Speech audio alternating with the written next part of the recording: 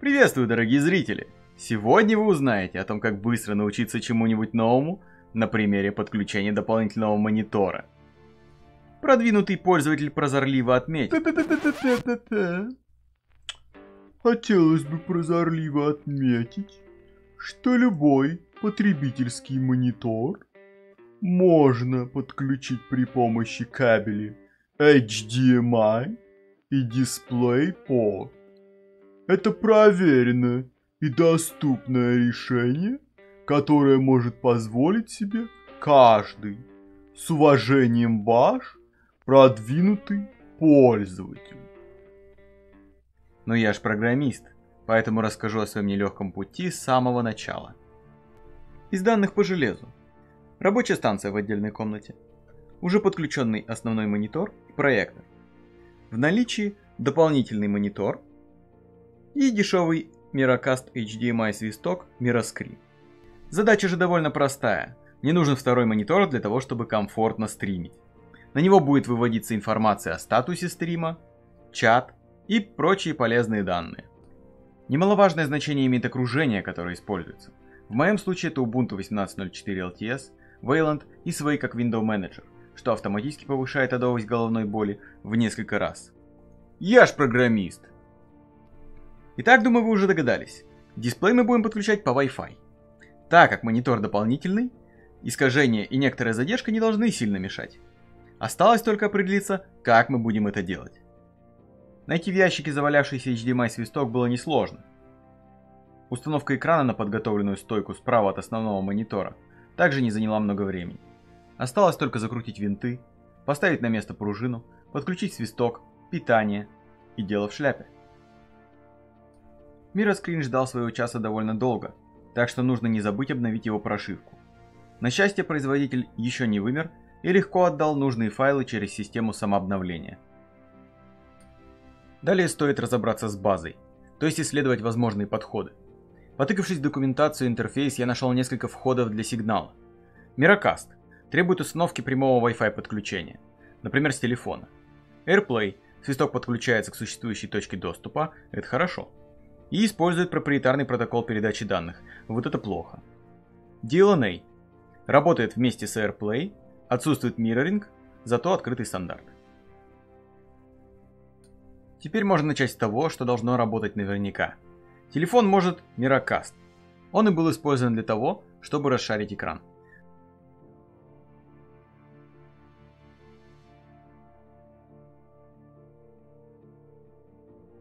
Что ж, девайс работает исправно, показывает картинку со сравнительно небольшой задержкой. Значит, можно копать в этом направлении.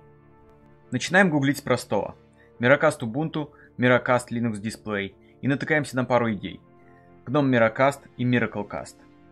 Я не фанат GNOME, так что первое решение мне не поможет. А вот MiracleCast вроде должен сработать. Но после некоторой возни я понимаю, что ему нужно прямое подключение. И это требование самого протокола. То есть он хочет Wi-Fi интерфейс, который и будет контролировать. А у меня такого на рабочей станции нет. В общем, спустя несколько часов мытарств, идея с простым стримингом через Miracast отвалилась.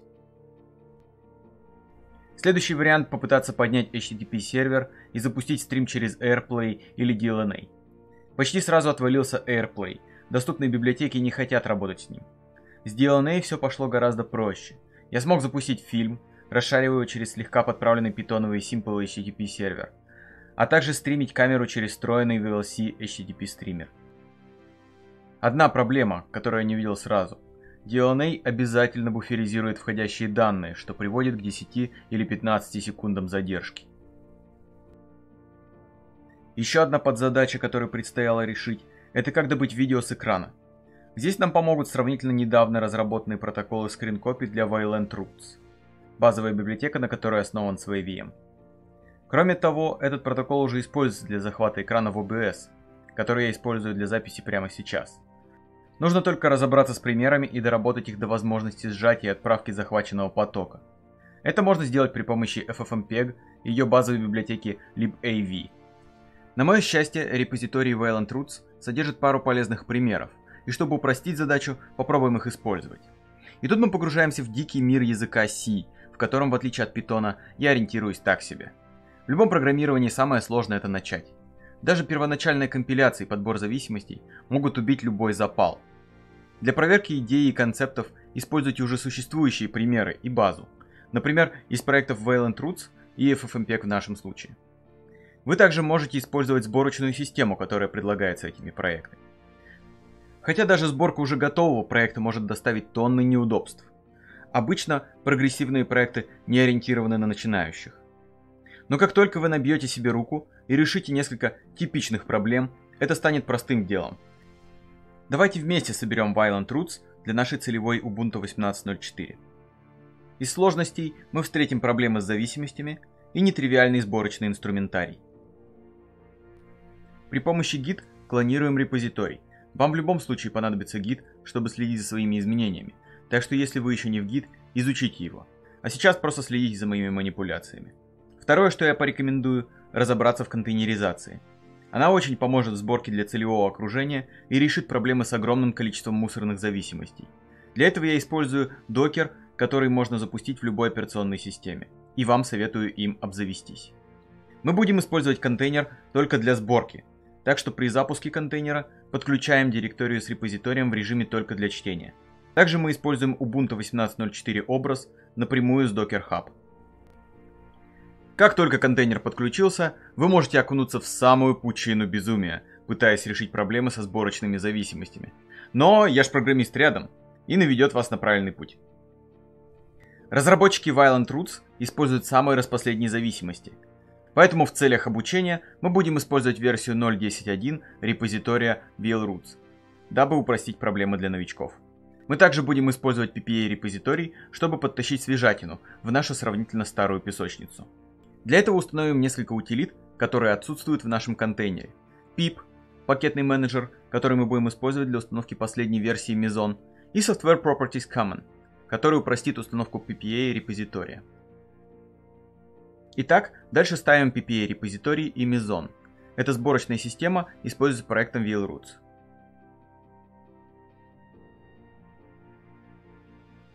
Запускаем Meson в проекте и видим первые проблемы – Конечно, вы можете просто зайти в репозиторий и поглядеть на список зависимостей, но практика показывает, что разработчики забывают обновлять этот список и проще разобраться с ошибками, которые пишет вам сборочная система. Благо, что найти требуемые пакеты не так уж сложно. Либо ищем в репозитории, либо гуглим. Чаще всего для сборки требуются пакеты с суффиксом dev, так что и ставим именно их. При установке зависимости иногда сложно определить, что именно требуется – но поиск по интернету зачастую наведет вас на решение и даст необходимый опыт в этом вопросе. Я ускорил видео, чтобы избавить вас от скуки. Лучше сами возьмите и попробуйте проделать все описанные действия, чтобы потренироваться.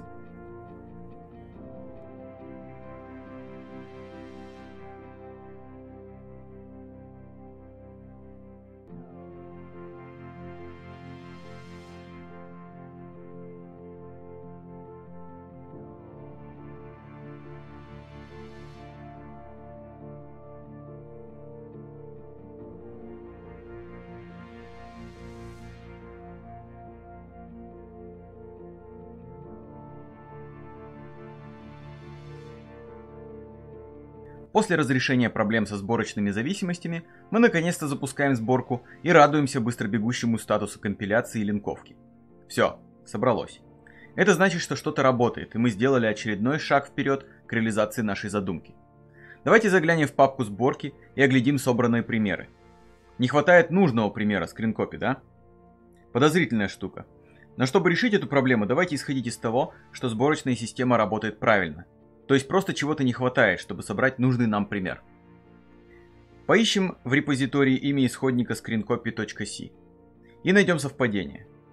Откроем найденный файл и видим, что и правда требуется что-то, что мы не поставили. Давайте установим libpngdev и пересоберем проект.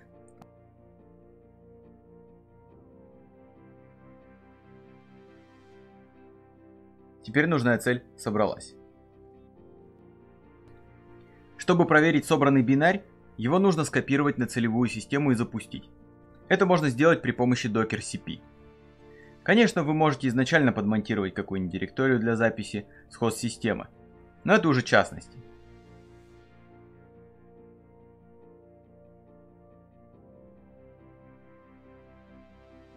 Запускаем полученный бинарь в Вайланд окружении и получаем скриншот экрана. Чудно. Таким образом, нужно изучить пример скринкопи и модифицировать его под свои нужды.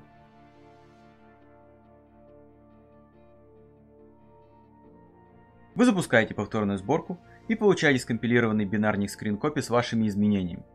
Компилятор подскажет вам, где вы ошиблись, а после сборки вы сможете запустить пример и проверить его работоспособность. Если вам понадобятся дополнительные зависимости, просто измените сценарий сборки для этого примера и порядок.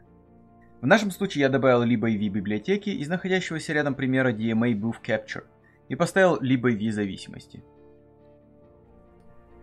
Конечно, написание логики программы не настолько простое занятие, как сборка даже самого сложного проекта. Поэтому рекомендую прямо сейчас подписаться на мой канал, на котором вы сможете поучаствовать в стримах, где я буду не только отвечать на вопросы, но и непосредственно писать код на различных языках программирования, попутно объясняя, что в этот момент творится в голове у типичного еш-программиста. Продвигаясь маленькими шажками, обгуглившись и проглядев несколько примеров, у меня получилось выжить простенький бинарь, который мог захватывать экран, сжимать его на ходу при помощи H264 и выдавать его на стандартный выход. Но вот с протаскиванием этого через VLC возникли проблемы на HDMI свистке. DNA клиент просто отказывался читать поток или зависал. Поэтому захват с экрана был переработан на основе более комплексного примера с упакованием в контейнер MKV – на выходе теперь не только H264 поток, но и заголовок, который поможет Mirroscreen точно определить параметры видео. Небольшой тюнинг позволил слегка снизить задержку. Она все еще в пределах 5 или 10 секунд, что не слишком критично, но не остужает горячее желание дальнейших исследований. И после реализации всего этого добра, я обнаруживаю реверсные спецификации AirPlay протокола, который позволяет прямой мирроринг почти без задержки. Но это уже совсем другая история, требующие углубленного исследования. В конце концов я использовал дополнительный выхлоп DP1 и включил его при помощи кастомного edit и строчки в ядерный 7D Line. А после этого перезагрузился. Таким образом у меня появился дополнительный дисплей, который я подвесил справа от основного монитора с поворотом на 90 градусов. Думаю, у вас уже возник главный вопрос, зачем я все это так детально описываю. Давайте оглянемся. Только лишь за неделю при решении сравнительно простой задачи был объят довольно большой объем знаний и практических навыков. Miracast, DLNA, AirPlay, Multicast, UPnP, MDNS, Python, C, LibAV, FFmpeg, H264, Matroska, Nmap, TCP-Dump и другие сопутствующие системы и инструменты. Это неплохой набор умений для любого эш-программиста. Сегодняшний мир ставит все новые и новые задачи, которые требуют очень быстрого погружения в новейшие знания. И от того, насколько быстро вы можете впитать новую информацию и разработать Proof of Concept, используя любые сподручные технологии, зависит ваше будущее.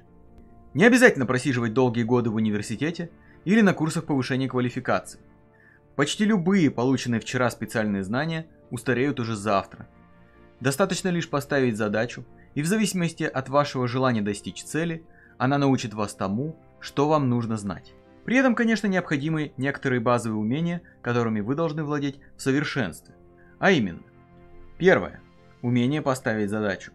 От правильной постановки зависит успешность применения ваших усилий. Второе. Умение выбирать и подготавливать инструменты. Вокруг вас множество микроскопов, которыми не следует забивать гвоздь. Третье. Умение задать вопрос. В данном случае мы идем от общих вопросов к более сложным и конкретным. Четвертое. Умение исследовать пути. Не все пути ведут в правильном направлении, но нужно уметь признать свою ошибку и вернуться в точку, чтобы начать все сначала. И пятое. Умение видеть большую картину. Вы никогда не сможете объять все доступные технологии в их мельчайших деталях, но понимание общих принципов работы и дизайна различных систем вы сможете предсказывать поведение и область применения любых доступных инструментов. В эпоху интернета вам больше не нужно хранить в голове энциклопедическую информацию, чтобы решать поставленные задачи. Вам нужен лишь живой ум и тяга к знаниям, которыми вы сможете немедленно воспользоваться. А наградой вам будет результат, который покажет, что вы не просто сидите и зубрите ненужные данные, а движетесь по выбранному пути, шаг за шагом, приближаясь к цели. Не стесняйтесь подписываться на канал, ведь скоро здесь будут стримы и другие интересные видео, которые помогут вам в освоении еш-программистского подхода к решению задач. Всем спасибо за просмотр и пока!